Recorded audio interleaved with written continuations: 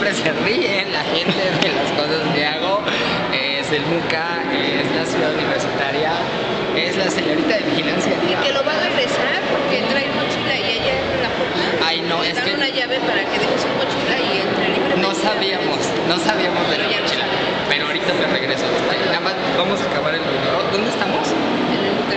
En el MUCA. ¿Y por qué hay tanta gente hoy? Es la inauguración de esta exposición que se sin No es Comentario. cierto, es cierto. La verdad es que ni ella ni yo sabemos cómo se llama la exposición, pero se los prometemos poner en el video. ¿no? Está muy chida. Ya me regañaron en vivo, en vivo en YouTube. Este, ahorita voy a dejar la mochila así ahorita.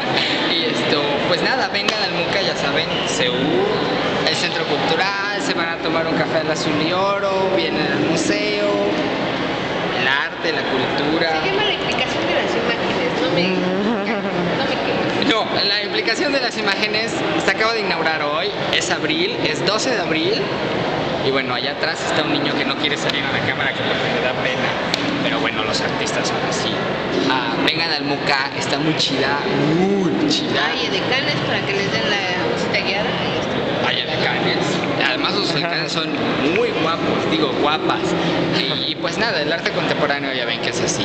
Niños, vengan MUCA, 12 de abril, fue la inauguración, va a estar aquí seguramente como un mes. El arte contemporáneo siempre atrae a gente muy culta y muy nice, muy fresa y por lo general muy gay. Uy, eso no lo dije yo. Ah, y ya, luego nos vemos. Bueno.